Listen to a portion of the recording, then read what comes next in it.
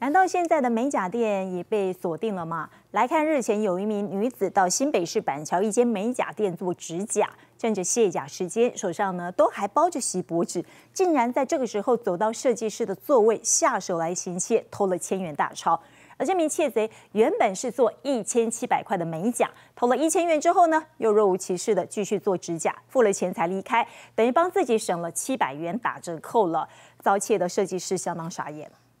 美甲店里，女子手指包着锡箔纸，一边等卸甲，一边在店里走来走去。店员以为她只是活动筋骨，没想到女子却鬼鬼祟祟贴着墙壁走到设计师的座位，左顾右盼，从包包内拿出蓝色的千元大钞，伸手还想偷第二次，发现有店员经过，赶紧收手，若无其事走回位子上。偷了一千，第一次的时候摸到一千，然后得手之后，他就先把它放在包包里面，然后假装没事，再观察一下之后。然后再偷第二次，可是第二次的时候他就一直在注意，然后我同事刚好来上班，他可能有看到，所以第二次就没有得逞。女子刚进到美甲店时，就借着喝水不断观察店内的监视器，以为是死角，没想到恶行恶状全被其他监视器录了下来。他就进来的时候，然后到我们那边有一个监视器的位置，然后他就是有稍微瞄一下，他以为那边是死角，结果。他不知道后面还有一只监视器。二号中午十二点多，在新北市板桥，这名黄姓女子趁着做美甲的卸甲时间，设计师刚好离开位子上，眼看没人注意，女子就走向设计师座位，从包包偷了一千元，随后还继续把指甲做完，等于一千七百块的美甲，只花了七百元，帮自己打折扣。很夸张，因为他这边做的时间蛮长的。